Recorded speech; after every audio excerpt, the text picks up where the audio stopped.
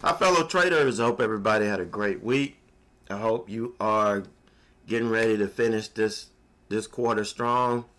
Looking forward to the second quarter and the second quarter earnings season to kick off. I know I am. Um, but know, this weekend, real quick, I want to share a quick message with you and recap my week and Friday, uh, so I can get out of here and get back to some college basketball. Um, but the message I want to share with you guys is manage your risk. If you don't manage your risk, there's no way you're going to be able to stay in this industry long enough to learn and to develop the skills that you're going to need to be successful in the long term. You know, this in this industry, the income is limitless. It's only limited by your ability, your skill set. And as long as you continue to, to learn and to grow and to develop that skill set, you're going to have the ability to make more and more and more money and reach that lifestyle that you were dreaming of. You know, for me, my life, my dream was to be able to go and and spend time with family whenever we wanted to. That we had the money to be able to put gas in the car to get there, to be able to eat well, when we got there, we didn't have to eat. We were with family, so we were good. But just having gas to put in the car to go, to have a decent car to get in the, in, you know, in and travel with, you know, and yeah, my ultimate goal is to live on the beach. That's what I want to do. You know, I want to live on the beach. I want to wake up and sit at my desk and overlook the beach you know, but I know it's going to take some time for me to get there. I'm about halfway there now.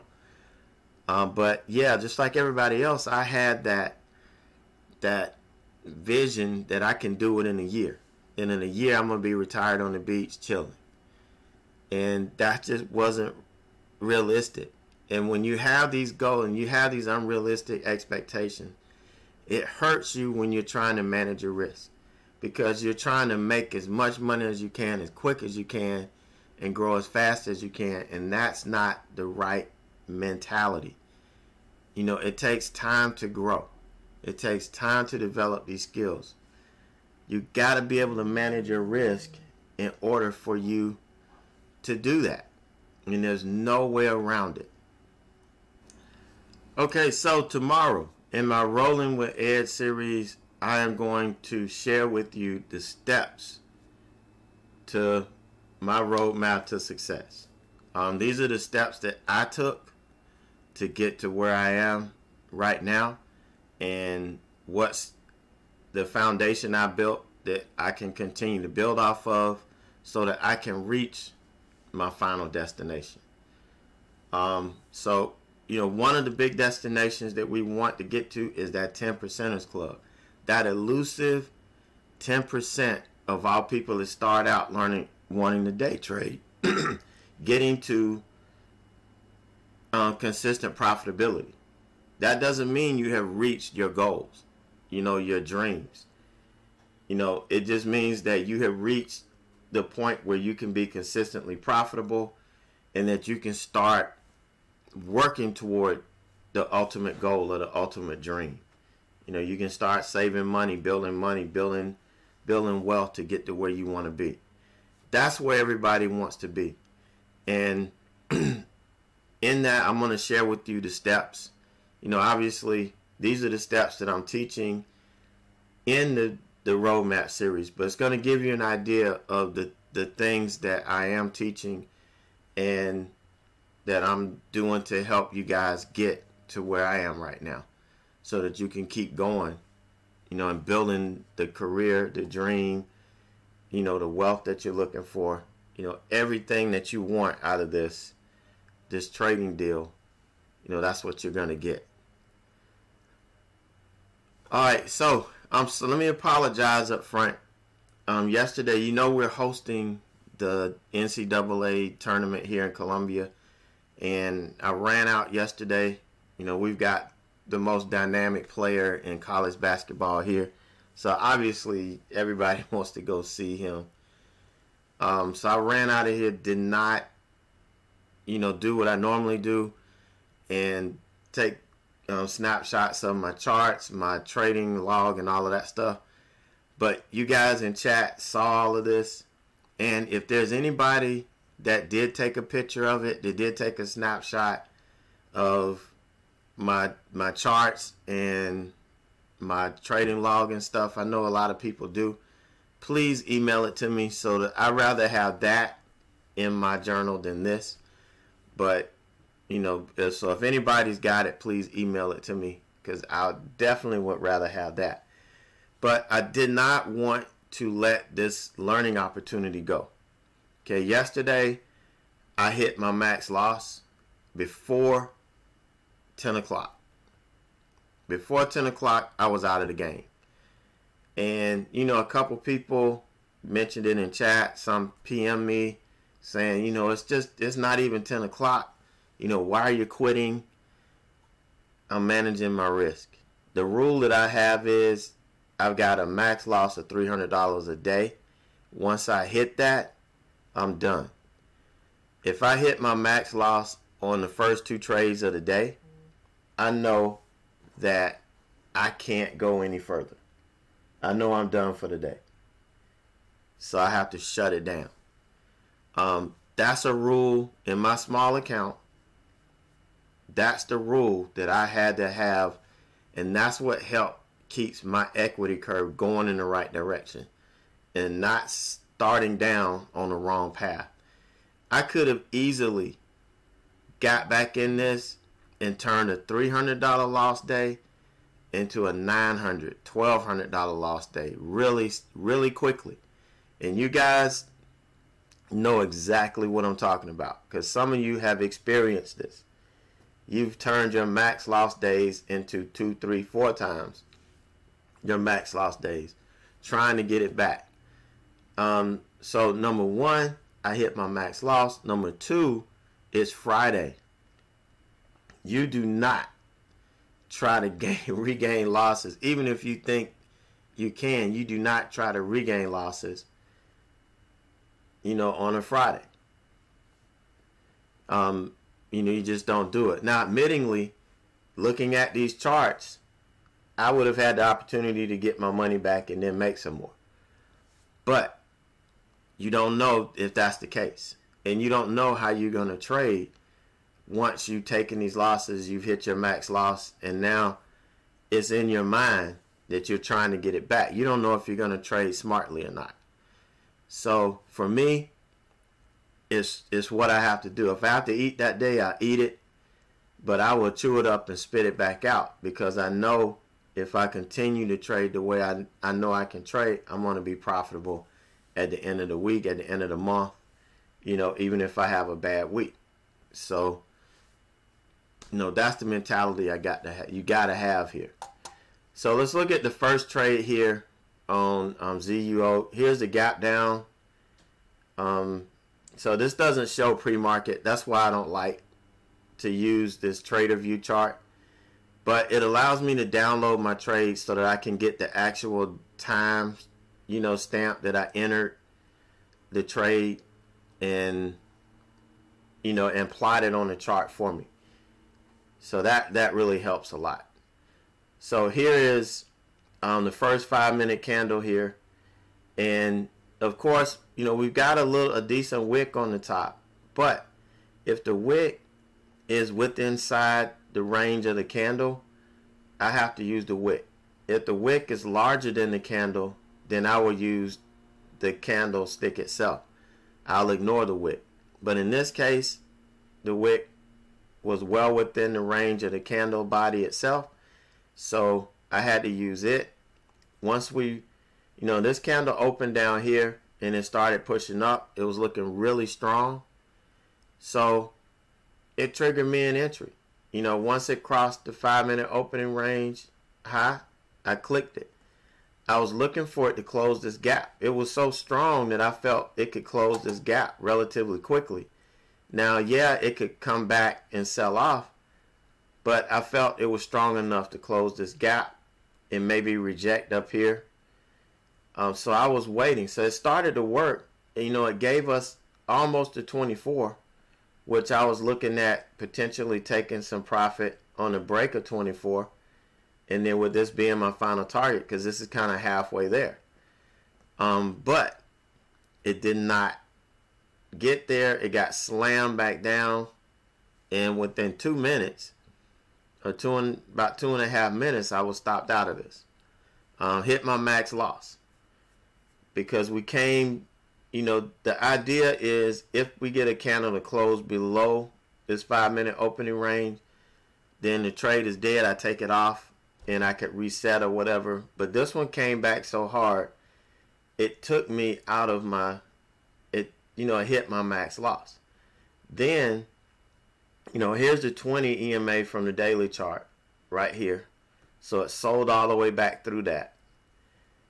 Um, you know, here's a daily level here around 2245-ish.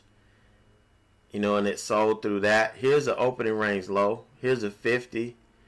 So, you know, if you look at this, we kind of sold all through this um, support here. Now we bounced here off of this 21. I think this is like 2165-ish. This level here. We did bounce here. But once we came back through and we lost the 50 and the 5 minute opening range low, you know, we had a nice sell off right down here. And this is the daily, the 90 day from the daily chart. I mean, a really nice sell off. So this was a, a really good trade to make some money off of if I had stayed engaged. The problem was by the time this move happened, I had already taken another trade, lost on it, hit my max loss.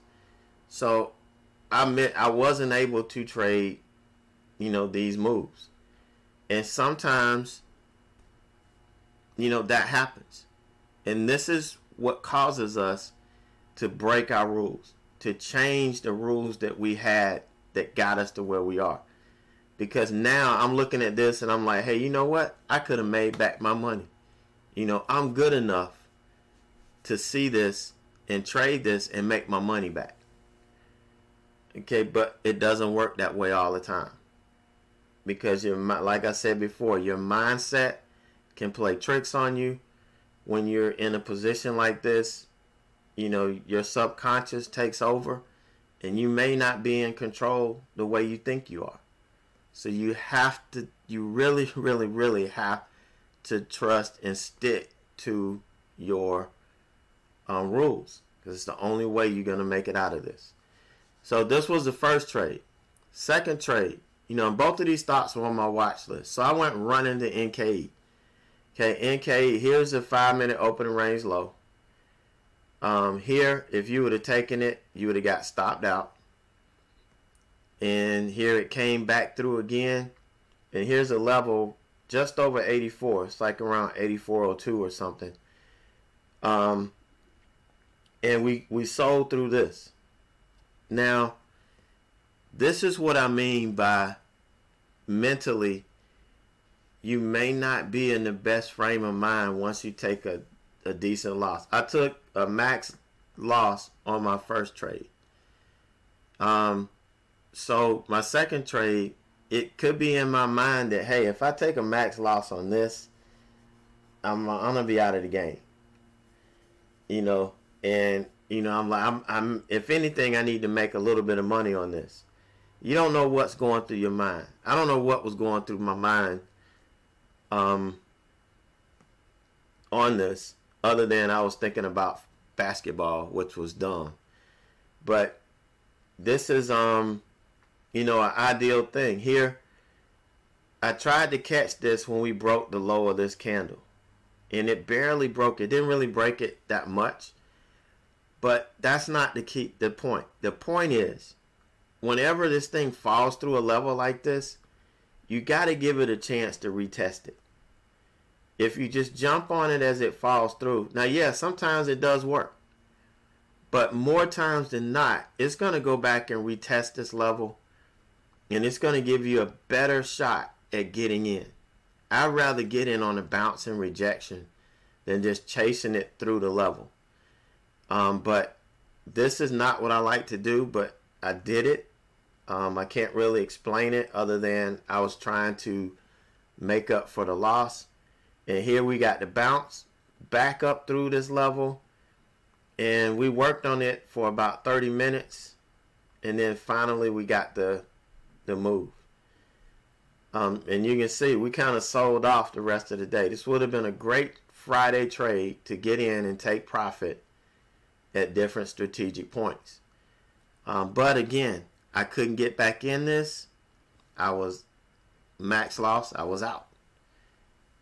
And you know that's the reason why I wanted to show you these two trades, and and re- really, you know, show you the trap that you could fall into if you're not disciplined. You know, because it's not about me making this back. I know that the market's going to be open Monday, Tuesday, Wednesday, Thursday, Friday of next week. Um, I start with a clean slate and, you know, do the right thing. And I'm going to be consistent and I'm not going to have a chance of losing, you know, too much money. So that's what, you know, these lessons were, were all about. Again, I'm sorry I didn't get to do it on my normal chart. I don't really like these um, because I can't really see everything like pre-market and, and all of that. And, and all of that is really critical to my strategies, especially the opening range strategy or the strategies before 11. The pre-market levels are really important. So, but hopefully you got the message on, you know, what I was trying to share here. All right, so um, another disappointment this ARWR, the trade I took in the Grow Your Dough Challenge account, started out working really well. I mean, we had a really nice gain here. Never did get to the first where I would, would have loved to take it off if it failed here. Um, never did make it there. We pulled back to the 20, kind of bounced off it, held it. You know, I'm thinking that we're going to get a push, but the market never really helped us in this. And then, of course, the Friday deal, it just killed us. You know, the the market Friday just really, you know, put us in a put us in a bind, and just could not recover. Um. So, I had to I had to cut it. You know, we closed below the 20. That's the deal. Um, we closed below the 20 and look at it we're trending down now you know I can take a a um, trend line and just draw it straight down so we're making a descending triangle um, no need to stay in this trade cut it don't give up any more money and let's move on to the next and, and like I said for this account I'm looking at doing a little bit more aggressive trading um, in the second quarter centered around my earning strategy, and I'll be talking more about that uh, when the time comes. But that is where I'm looking at. So I may not take any trades in this next week. Um, these lower price stocks, they take a lot longer to, you know, hit levels and everything. So one week may not be long enough. So I'm, I'm thinking that I probably won't take another trade in this until you know, I implement my strategy. Or if I see one next week, you know, I'll go over it with you guys first before we do it. Um, but that's where we are on it. Had to take it off yesterday because we closed below the 20. All right, and here is uh, we lost 58 bucks on it, 6% uh, on the trade. Uh, so that's the first red trade we made. Um, still, um, six, just at 65 bucks that we've gained in the last three months, which is sad. I mean, really sad. Uh, should have had more than that. You know, this one really came back on us. We, we were up good on it. It came back. Um, this one we were up decent on. It came back. Um, these the market just isn't helping us in the in these small trades. It's just not. So we're gonna have to up it a little bit and and see what we can do with it. All right, so um, last week, here's where we are. Started the, the week off with a huge bang. Um, 1046 and then Tuesday 425 426 awesome start to the week. Um you know almost 1500 bucks in the first two days. And then Wednesday I had that loose hit um which cost us 117.51 and then Thursday a little rebound uh, left some money on the table you know this should have been another $500 day but left some on the table. Um, didn't really have the confidence to trade the market like I needed to. And then come out Friday, um, 302.49. Just, you know, two trades, max loss, had to shut it down. Um, but still for the week, 13, 22, 26, not bad. Averaging just over $200 a day um, which is on the low side. That's kind of the minimum that I'm looking for. Um, I'm I'm really you know I'm really looking for anywhere from 350 to 500 on average on these slow weeks.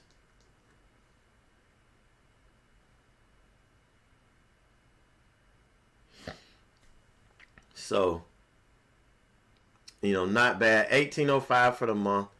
So almost two grand for the month. Um, I can't remember what I did uh, January. But I think we did around in the two thousand dollar mark in January.